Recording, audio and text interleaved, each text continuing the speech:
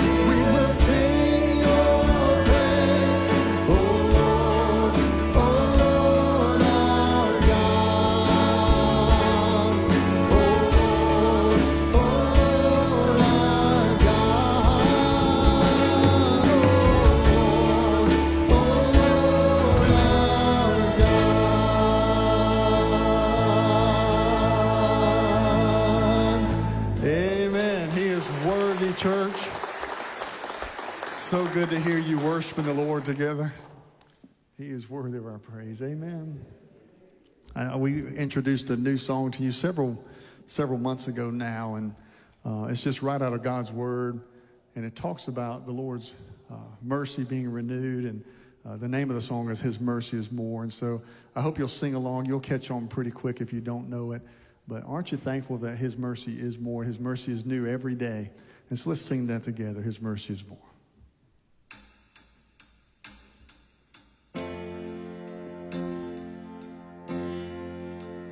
Praise the Lord. His mercy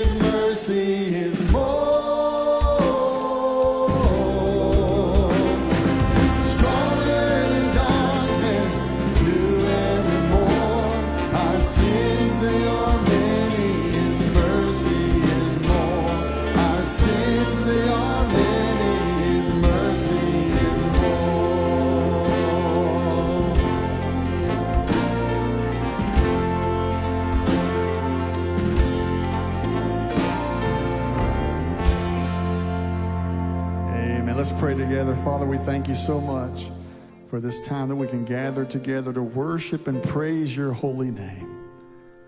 And Lord, we continue to pray for all around our country and our world that are struggling. And God, our desire is just to lift you up today and to worship you. I pray that no matter where people are today, no matter what they're facing, they can turn their eyes to a Savior and praise your holy name.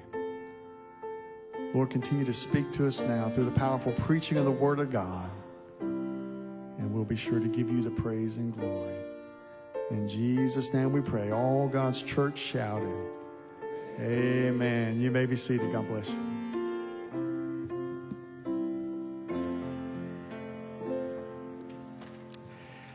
Turn with me your Bibles this morning to the book of Hebrews. And as we gather together to worship day, I thank you for um, just a warm embrace to, to come back and be able to worship with you. But I do want to say thank you. Our church is blessed with an outstanding church staff. And for them to not only do the things that they routinely do to lead us and help us to know the Lord and serve Him more faithfully, but then to step in and to fill in the gaps and to take care of responsibilities and those things. Thank you guys so much. And, and it's not just thank you, it is thank you for loving the Lord and for serving Him and being in this place. And so I thank each one of them for, for their folks. And I thank you for your faithfulness to support them, but more importantly, to be in your place and to serve the Lord. You know, the phrase that I keep repeating that many of us have, have said or heard, and you'll keep continuing to hear is, you know, these are unprecedented days. Who in our wildest dreams would ever have imagined we would have experienced the things that we've experienced as, as a culture, as a church, as a nation in the last six months? And I know that people are, people are waiting for a conclusion. Friends, I'm going to tell you, you think it's bad now, it's only going to get worse. That's the reason you need Jesus Christ as your Savior Lord. Because whatever you've experienced, no matter how good it is or how bad it is, nothing will keep you for eternity except salvation in Jesus Christ. So, what are you waiting for? We're waiting for something to happen. Well, I've been waiting for today because I've been waiting for the opportunity to feel better so that I could be back in my place doing what I feel like God's called me to do. We're all waiting for something. We're waiting for an election to take place. We're waiting for a, um, an antidote uh, to, to, to cure our virus. We're, we're waiting for our health to get better. We're waiting for our babies to be born. We're waiting for them to graduate from high school. We're waiting for them to get married and start having their own babies and start the process all over again. We're all waiting for something. You know, First Baptist Church of Social Circle has a rich, rich history. And down through the years, had some wonderful, some faithful servants to serve as the pastor of this church. One of those was a gentleman named Milton Wood. Milton was the pastor when this facility was actually built over 25 years ago. Anyone who's ever been to a funeral in the social circle Walton County area where Milton Wood was the pastor, you'll know that there is one phrase he has repeated over and over and over so often I can remember it. And here's what he says Whatever you're going to do with your life, you better get on to it because it'll be over before you know it. What are you waiting for? Waiting for our health to get better, waiting for our conditions to change, or waiting for eternity?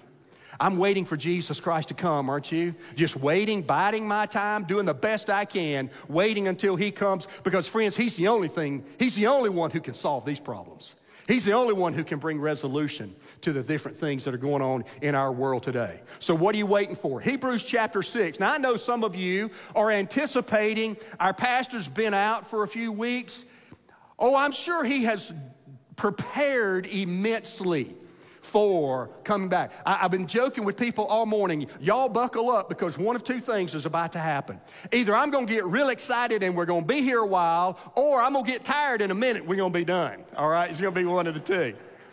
Um, I, I couldn't think I, was so fatigued I couldn't, I, couldn't concentrate. I had all these grand dreams of all these books I was going to finish reading, all these sermons I was going to write, all these things I was, got, but I couldn't think until, oh, a few days ago, I simply went back and said, okay, Lord, here's what I've been reading. What do you want to say to me? And here's what he said. What are you waiting for? Hebrews chapter 6. If you're able to stand, would you stand with me? Hebrews chapter 6. We've been journeying through uh, the book of Hebrews um, uh, for just a few weeks uh, before our break, before my break. And, and I want to go back to it because I believe Satan wants us to miss this, friends. He, he wants us to miss the teaching of God's word because of the preparation that it brings to our hearts and minds. So listen to what he says in Hebrews chapter 6. Therefore, let me back up to verse 14 of chapter 5 solid foods for the mature, who, because of practice, have their senses trained to discern good and evil. Therefore, leaving the elementary teaching about Christ, let's press on to maturity, not laying again a foundation of repentance from dead works and of faith toward God, of instruction about washing and laying on of hands and the resurrection of the dead and eternal judgment. And this we will do if God permits. For in the case of those who have once been enlightened, and have tasted of the heavenly gift and have been made partakers of the Holy Spirit and have tasted the good word of God and the powers of the age to come and then have fallen away, it's impossible to renew them again to repentance, since they again crucify to themselves the Son of God and put him to open shame. For ground that drinks the rain which often falls on it and brings forth vegetation useful uh, to those uh, for whose sake it's also tilled receives a blessing from God. But if it yields thorns and thistles, it's worthless and close to being cursed, and it ends up being burned. But, beloved, we're convinced of better things concerning you and the things that accompany salvation, though we're speaking to you in this way. For God is not unjust, so as to forget your work and the love which you have shown toward his name, and having ministered to and in still ministering to the saints. And we desire that each one of you show the same diligence so as to realize the full assurance of hope until the end, so that you'll not be sluggish, but imitators of those who through faith and patience inherit the promises. For when God made a promise to Abraham, since he could swear by no one greater, he swore by himself, saying, I will surely bless you, and I will surely multiply you. And so, having patiently waited, he obtained the promise. For men swear by one greater than themselves and with them, an oath is given as confirmation as the end of every dispute.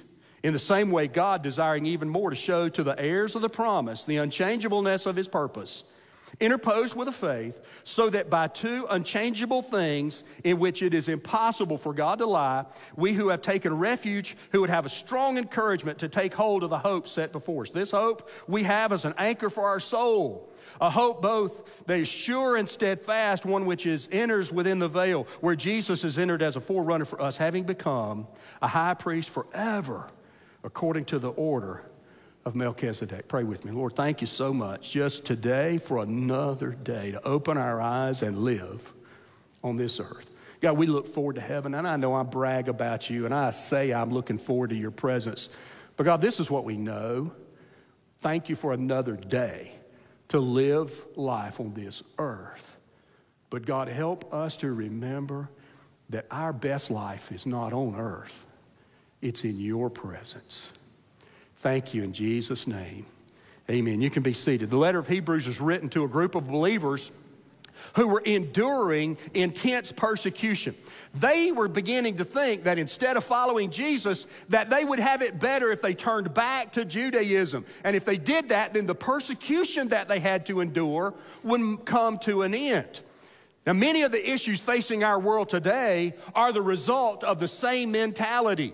I, I don't want to endure persecution, so what can I do to minimize that? Somehow, our world has been led to believe that if we accept a lessened view of marriage, we'd be considered open minded and we'd be accepted by people.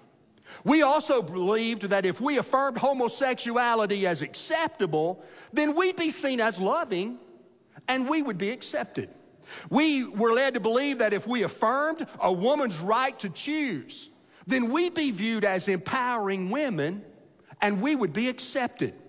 We've been led to believe that if we accept uh, the responsibility for the oppression of every other ethnic group in the world, all while ignoring personal responsibility, then we would be forgiven and we would be accepted. My friends, none of that is true. Any compromise to what God calls sin separates us from God. And it will not lead to less persecution. It will not lead to happiness and prosperity. Separation from God only leads to death and destruction. It only leads to hell itself. It'll never be enough to satisfy the sinful desires that dwell with each one of us. Over the last three weeks, you've heard some great sermons. You have heard a sermon that explained to you what it is that Jesus actually does when you get saved. You have heard why Jesus is the only one who can provide that salvation for you. And you have heard the response to that is then to live in faith, not in fear.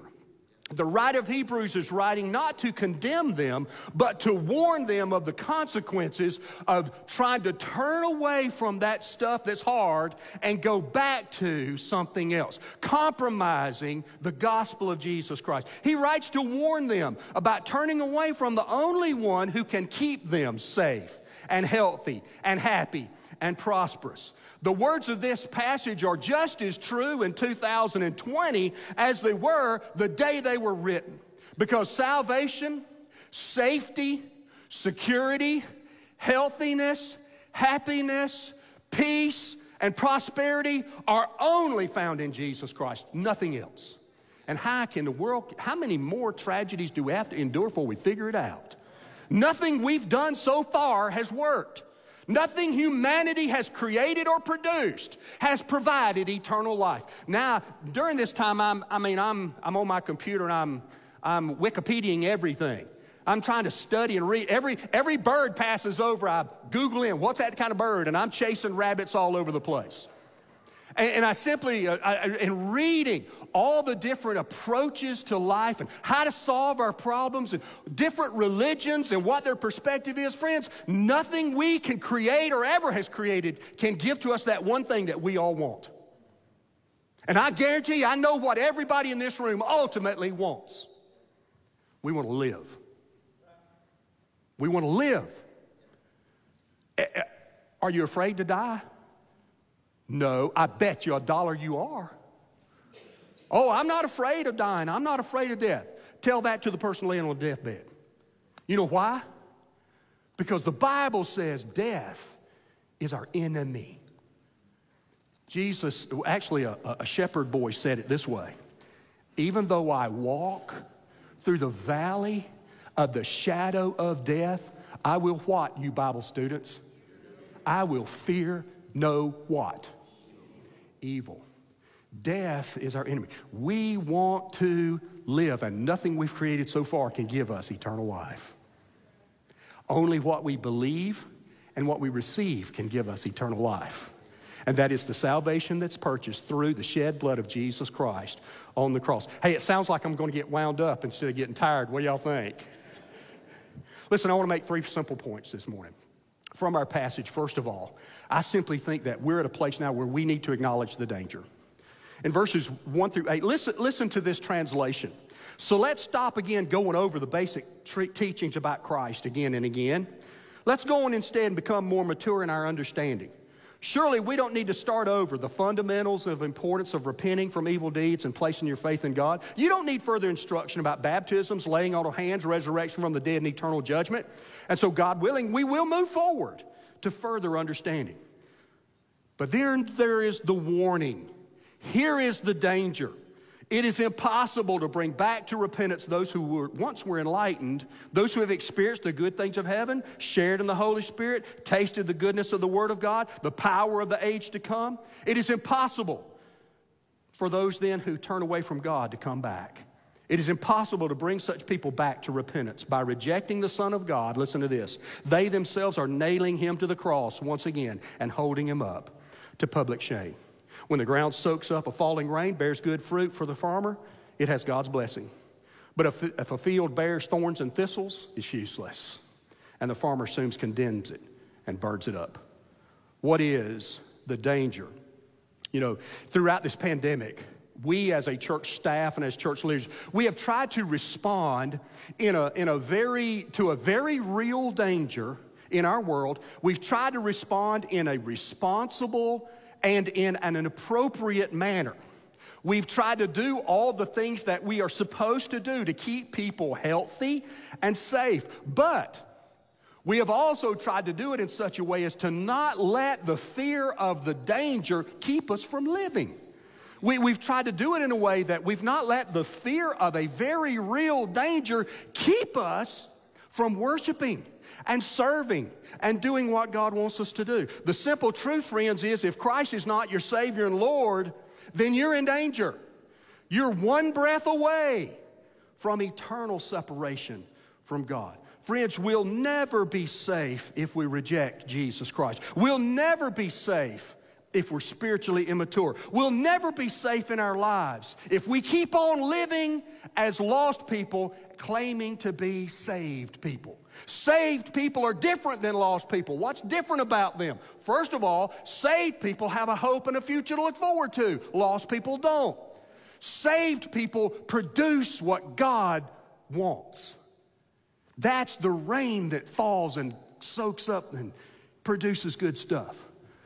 Lost people can't take advantage of that. We'll never be safe in our lives today if we keep on living something we say we believe, but there's no proof and there's no fruit. Listen to what James said in James chapter 3 verse 13 and following. Who among you is wise and understanding? Let him show by his good behavior his deeds in the gentleness of wisdom. But if you have bitter jealousy, selfish ambition in your heart, don't be so arrogant and lie against the truth. This wisdom that comes down from above is uh, the wisdom that does not come down from above is earthly, natural, and demonic.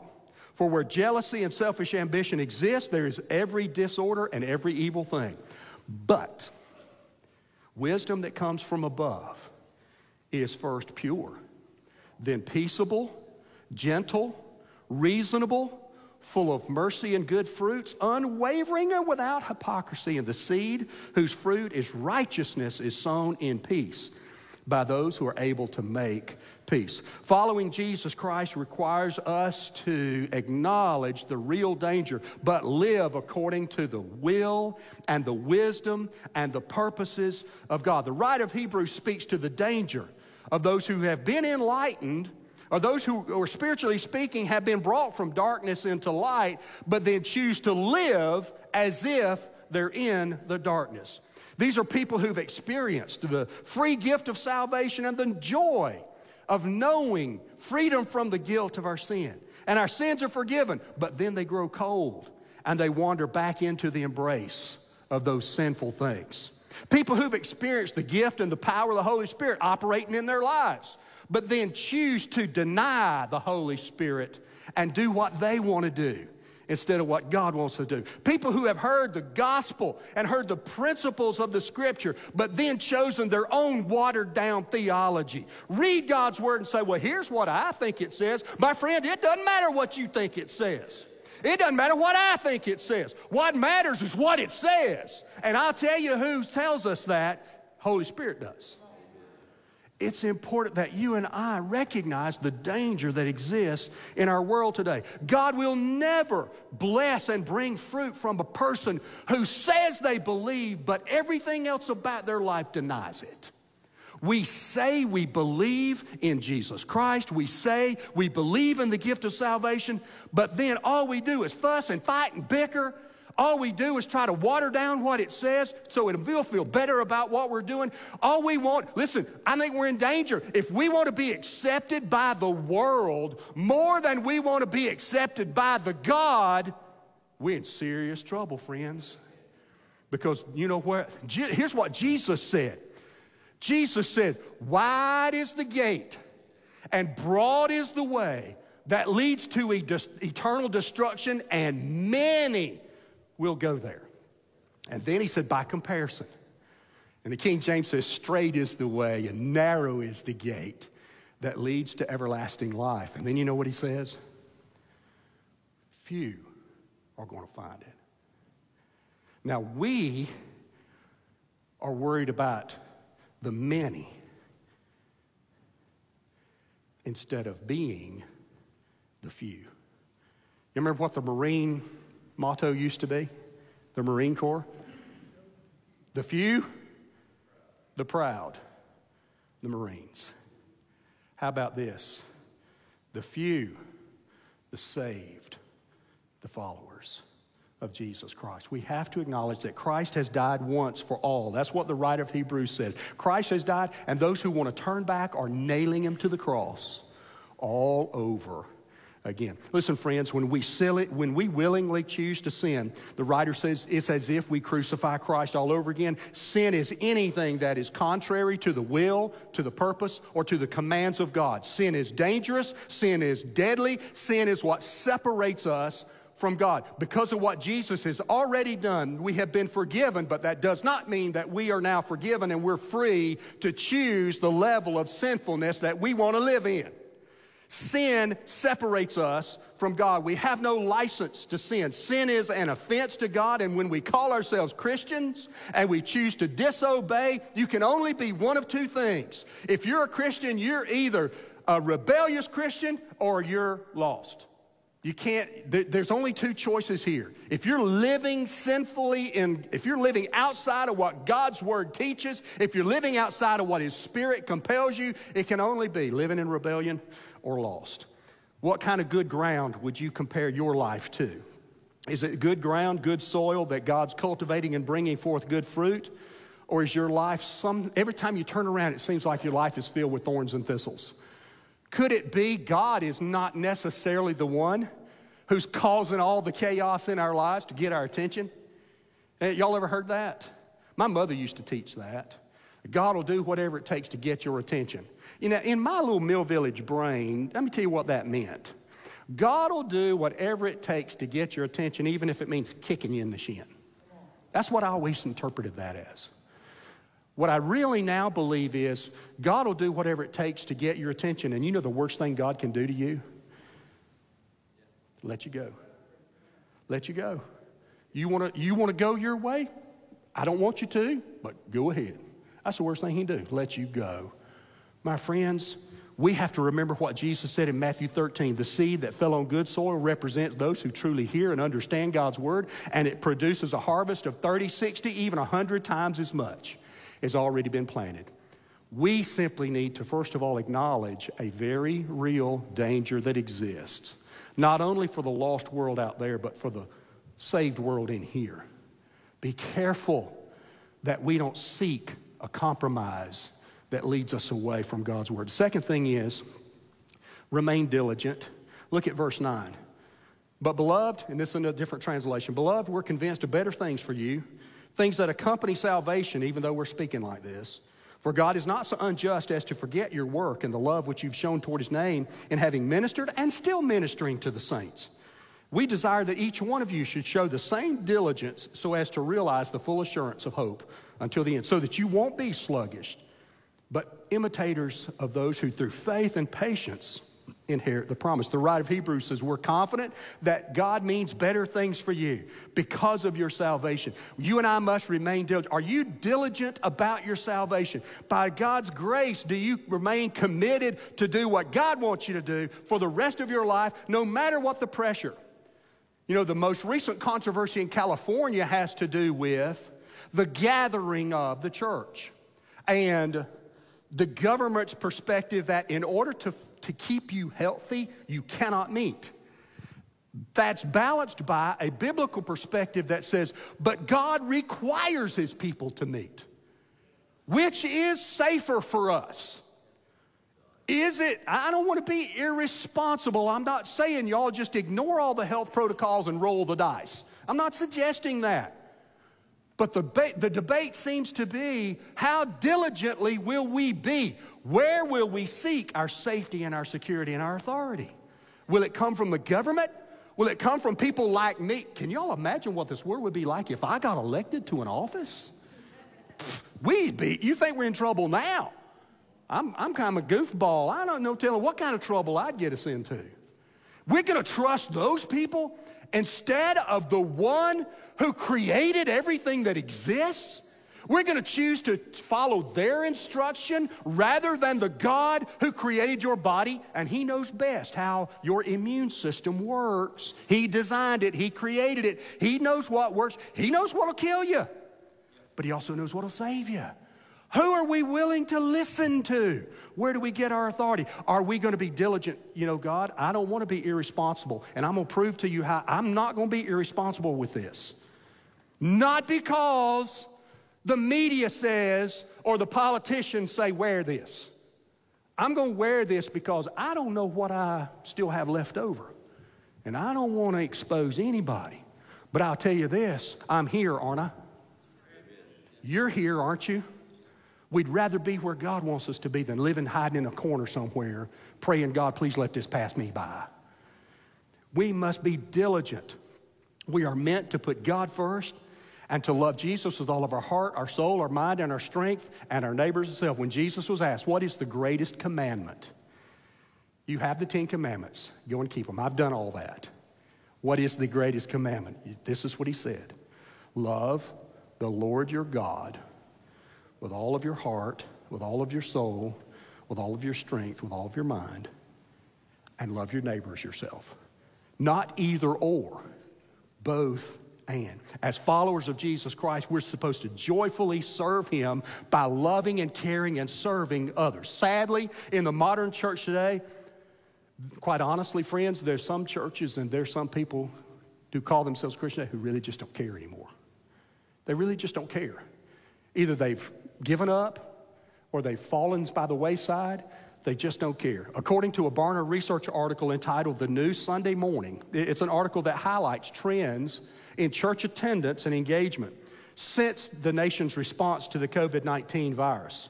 Two things that stood out to me in that article. Number one, one in three practicing Christians have stopped attending church during the COVID 19 virus.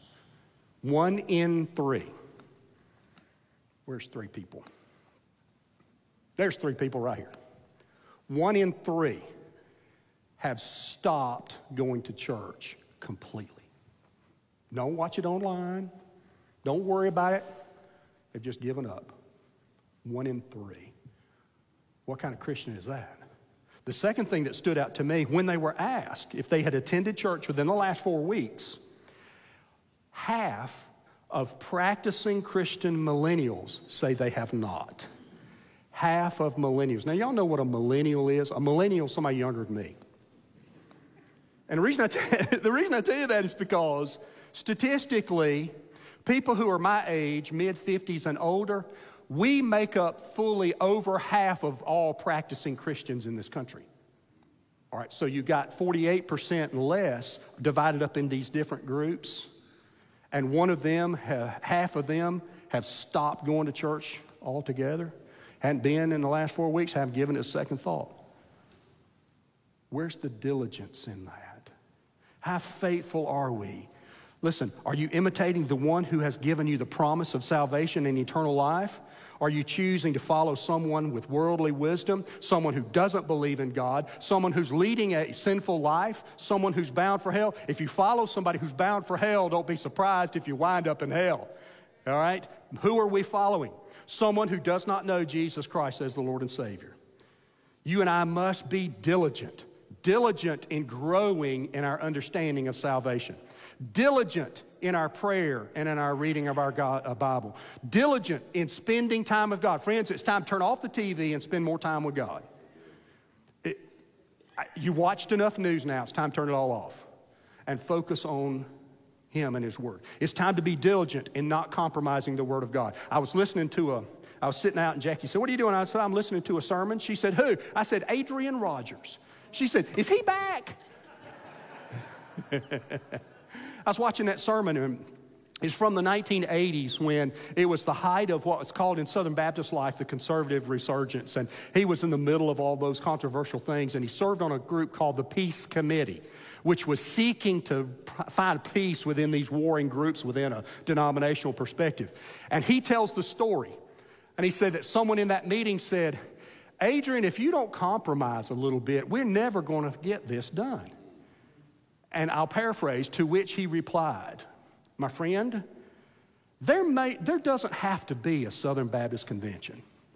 There doesn't have to be a Bellevue Baptist church. I'll say, there doesn't have to be a First Baptist Church of Social Circle. He said, Friend, I don't even have to be the pastor of a church. In fact, I don't even have to be alive. He said, But what I do have to do is not compromise God's word. I don't know about you, but I think we've compromised enough. It is now time to draw a line and say, listen, I'm not looking to start a fight with anybody because I believe that as Christians, we're called to love sinners. We're called to love the lost. There, listen, I don't, how would we hate our target audience? We love them, we want to reach them. If I could convince the vilest sinner of the joy of serving the Lord, I'd want to do it, wouldn't you? They're the goal. But I tell you something, we will not compromise in order to get their acceptance. We must be diligent.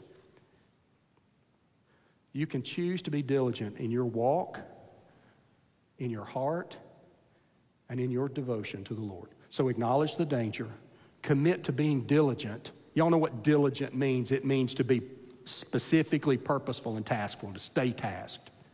And then finally, you and I, it's time to make a declaration. Verses uh, 13 and following, the, the example that the writer of Hebrews gives us is God's promise to Abraham. There was no one greater to swear by, so God took an oath by his own name and said, I'll certainly bless you and multiply your descendants beyond number. Abraham waited patiently and he received what God promised. Now, when people take an oath, they call on someone greater than themselves to hold it. For example, if you and I are going to take an oath today, we'd swear by, I'd swear by, you're not supposed to swear by Jesus, but if you're going to swear, you got to swear by somebody more, uh, more authoritative than you. God couldn't find anybody more authoritative than himself, so he swore by himself. We have to do that to hold them to it. Without any question that the oath is binding, God bound himself with an oath that he would fulfill his promise. And so God has given both his promise and his oath, and these two things are unchangeable because it's impossible for God to lie. Therefore, we who have fled to him for refuge can find great confidence as we hold on to the hope that lies before us. This hope is a strong and trustworthy anchor for our souls. It leads us through the curtain into God's inner sanctuary. Jesus has already gone there for us, and he's become the eternal high priest according to the order of Melchizedek. God made a promise to Abraham, the promise of a son. Verse 13 to, 5, uh, 13 to 15, God made a promise that was certain and was sure, and God kept his promise to Abraham. Abraham waited patiently, he was 75 years old when God promised that he would have a son. 25 years later, 100 years old, Isaac was born. God kept his promise even when Abraham no longer had any reason to expect him to. God still kept his promise because God cannot lie. When God promises something, it will come to pass. It is his oath, it is his nature, it is his truth. God has promised to you and I something. Numbers 23, verse 19 says, God is not a man, so he does not lie. He is not human, so he doesn't change his mind. Has he ever spoken and failed to act? Has he ever promised and not carried it through? Listen, I received a command to bless, God has blessed, and I cannot reverse it. In the declarations of God, you and I have a promise. What is the promise? We have a promise of an anchor that holds. We have the promise of a hope. He is the anchor that holds us safe through the storms of life. Listen to what one poet said We have an anchor that keeps the soul steadfast and sure while the billows roll fastened to the rock which cannot move, grounded firm and deep in the Savior's love.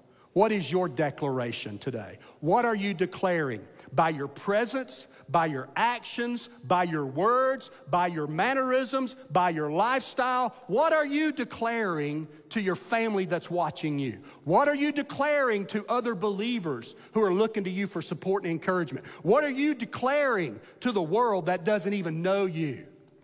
You and I are called to declare to the world Jesus Christ is the only hope you'll ever have.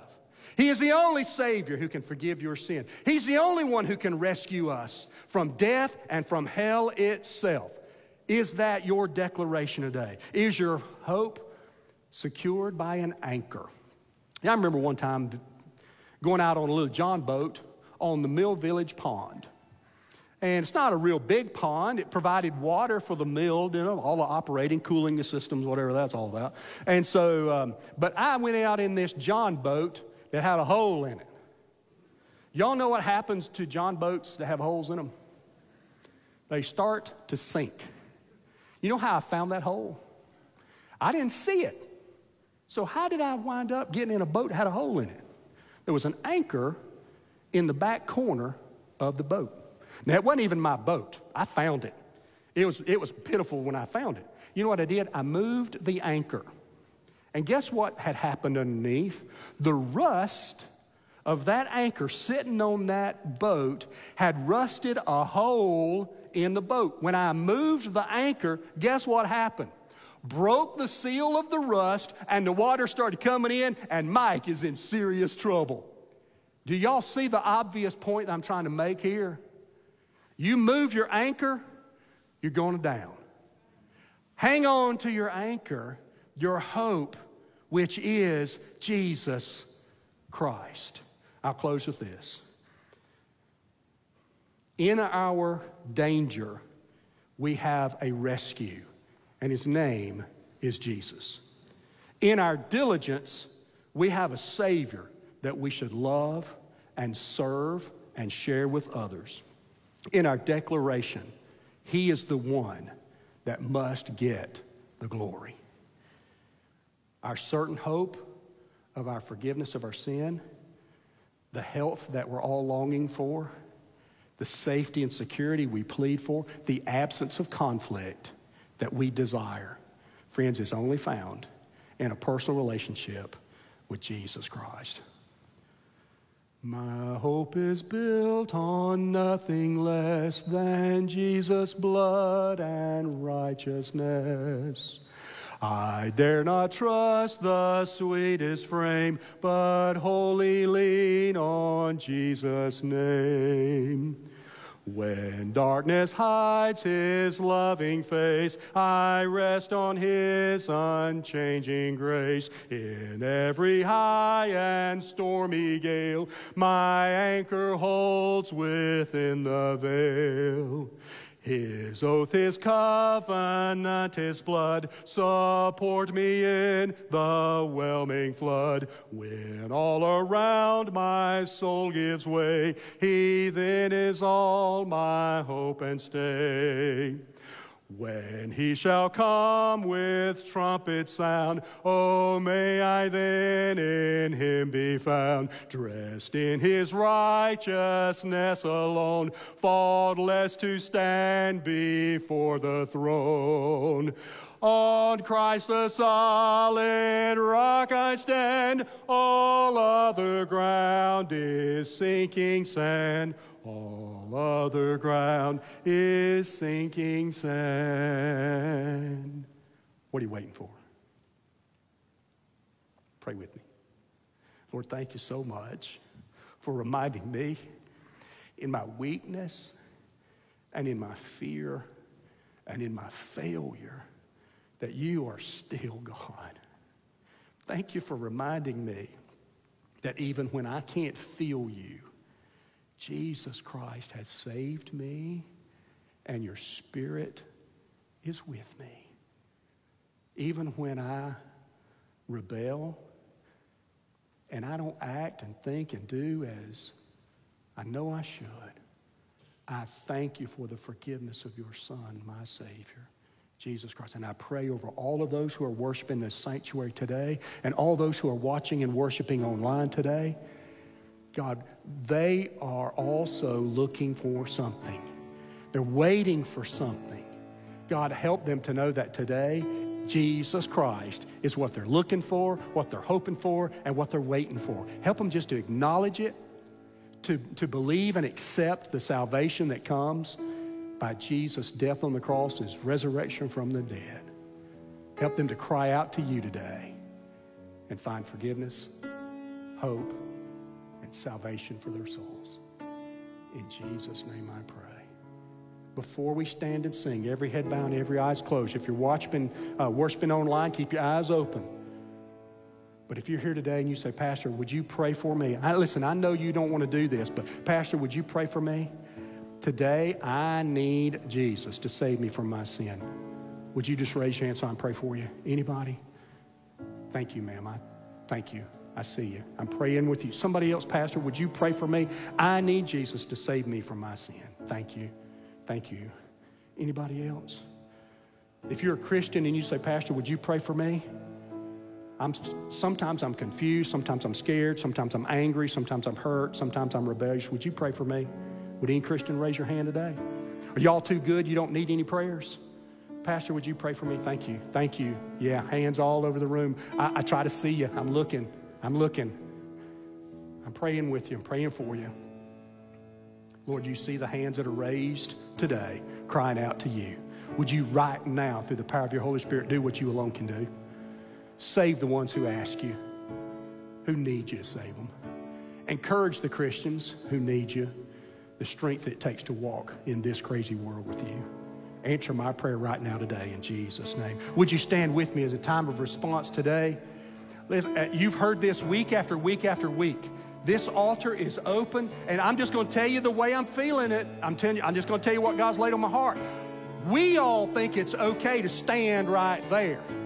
I'm telling you, some of us need to make a declaration by getting down here on our knees. It is time to stop putting on a show of righteousness. It is now time to be honest and get on our knees. If I could drag you down here and make you pray, I honestly would because I believe that's the only place where salvation is found. So, is there anybody who'd come and kneel and pray today? Uh, Kale and Jeff are going to come and stand here. They'll pray with you. But is there anybody who wants to come and kneel today and pray? Anybody? You come while we sing. I cast my mind to Calvary. Do what you need to do. Do you need to come and kneel and pray just to prove it to yourself? Does your family need to see you on your knees praying for them? His hands, his feet, my Savior on that cursed tree. His body drenched in tears, they laid him down in Joseph's tomb, the entrance sealed by heavy stone, Messiah still and all alone. All right, now sing it out like you mean it. Ready?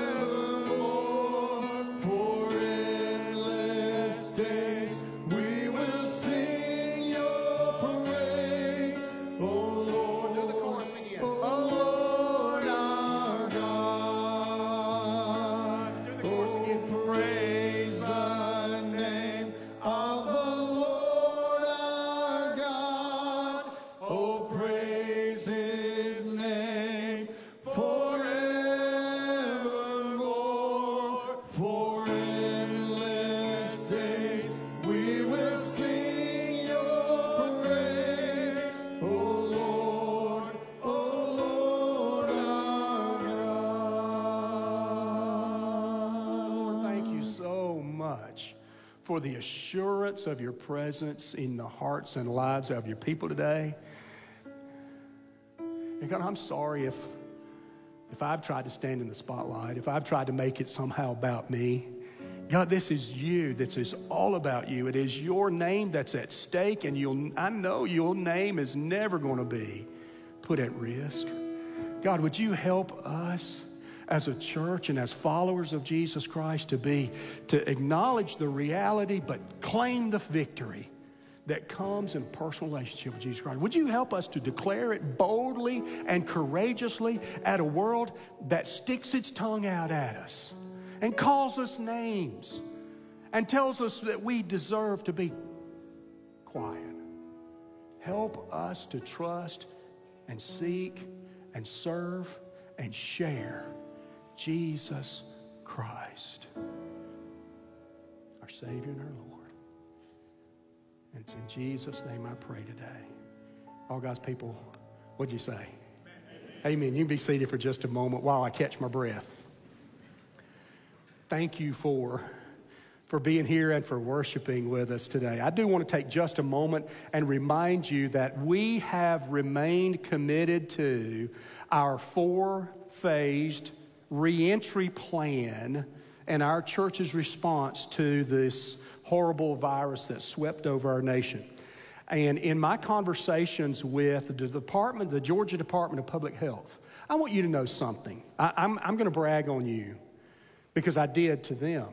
And this representative from the Georgia Department of Public uh, Department of Public Health, who doesn't know us, has no investment in us, Here's what he said to me. He said, Pastor, it sounds to me like y'all have done it right. And I want to say thank you. Thank you for taking seriously the things that we need to do. Whether you agree with it or not, thank you for taking it seriously for somebody else. And I want to encourage you, let's continue to do that for a few more weeks, okay? I encourage you, if you have a mask, please wear it. I encourage you to please practice social distance. I encourage you to use some hand sanitizer every chance you get. Listen, stuff comes by the gallons, use it up, okay? But we will not live in fear anymore. We're going to keep on. I, I tell the staff this constantly. I said, let's just keep on going. Let's just keep on going. Let's keep on going, shall we? Because there's more of them than there are us. There's more lost folks out there than there are saved folks. Let's go share the gospel with them. I am no longer interested in quantity. You know, for so long we've measured our success by quantity. We've always said quant- quality, not quantity, but we really didn't believe that. We really wanted to see the numbers. Listen, from now on, we're looking for life change. Looking for life change. That's the evidence of salvation. So, would you pray with us? And would you be wherever you need to be, doing whatever God wants you to do? Every opportunity He gives you, pray over it and go do it if He leads you to do it. And we'll keep on being the church that God's called us here to be. Amen? Now, before we're dismissed, I do want to remind you as we're dismissed, um, please practice social distancing as you exit. Uh, don't all go to the same exit. Please use the back exits as well as the front, the balcony side exits go that way. But please distance yourself as we get ready to leave. And what shall we do? Are you kidding me? After 18 months, that's all you can get out of that? First Baptist Church, what are we called to be? Let's go do it. Amen? Amen. God bless you. We're dismissed.